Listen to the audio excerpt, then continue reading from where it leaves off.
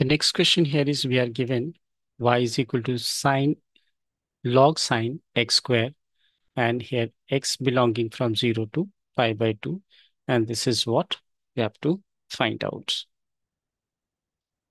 That means we have to find derivative dy by dx at x is equal to under root pi by 2. So what I'll do here, let's find out its derivative. This is uh, dy by dx is equal to what?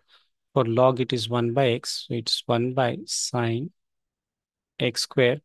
And sine square derivative is cos square.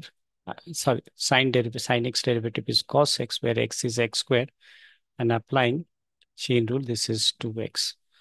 So now we can simplify dy by dx is comes out to be this is what 2x and this is cos over sine is what cot. So it will give you cot x square. Now in the later part, what we have to do is to find dy by dx at x is equal to that is under root pi by 2. So this is what we're replacing x here. That is 2 into under root pi by 2 cot square of pi is what?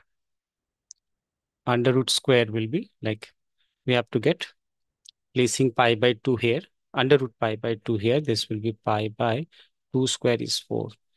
So this 2 to get cancelled, we are getting under root pi from here and cot 45 degree